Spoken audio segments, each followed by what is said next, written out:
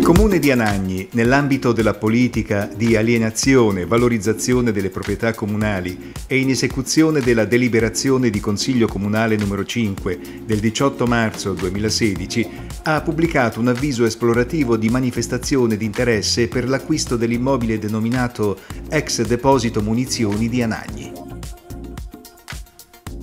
L'area occupata dall'ex deposito munizioni di Anagni si estende per circa 190 ettari nella porzione meridionale del territorio cittadino e si trova in posizione baricentrica rispetto alle due importanti direttrici di collegamento.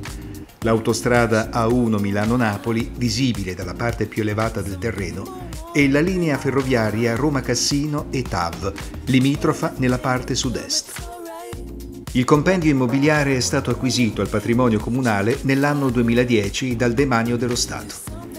Dal punto di vista orografico, l'area si configura come un susseguirsi di piccoli rilievi e vallette, con piccoli dislivelli che movimentano i profili altimetrici. L'altezza massima arriva a 220 metri sul livello del mare, mentre la minima è 170.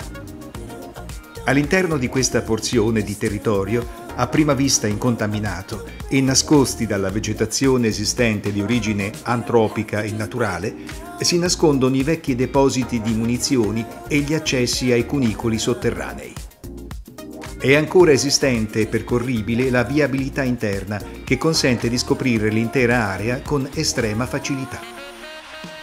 L'indagine del Comune di Anagni è destinata a verificare la disponibilità da parte di operatori economici a presentare la propria offerta per l'acquisto dell'immobile.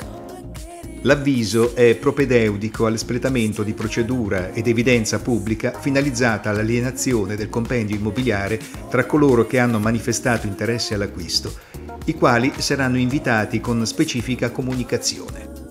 L'amministrazione si riserva il diritto di invitare alla successiva procedura di vendita esclusivamente coloro che hanno manifestato interesse all'acquisto in questa fase. Al momento della presentazione della candidatura è necessario presentare, oltre agli altri documenti citati nell'avviso, soprattutto una proposta contenente una pluralità di funzioni compatibili con l'area e con il contesto nel quale è inserita. Si considerano compatibili le seguenti funzioni commerciale, direzionale, terziaria, ricreativa, naturalistica, didattica, espositiva, congressuale, agricola, sportiva, turistica, innovazione tecnologica. Sono inoltre considerate compatibili tutte le funzioni di pubblica utilità. La proposta dovrà adeguarsi al contesto ed essere compatibile con i valori paesaggistici dell'area sulla quale si innesta.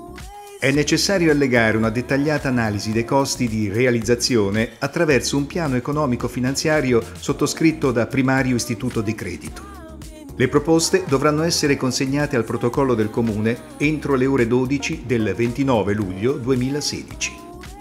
Nella fase successiva, a fronte dei progetti pervenuti, sarà avviata la procedura di variante urbanistica per acquisire la destinazione compatibile con la proposta che l'amministrazione riterrà più vantaggiosa e successivamente si procederà al bando di vendita.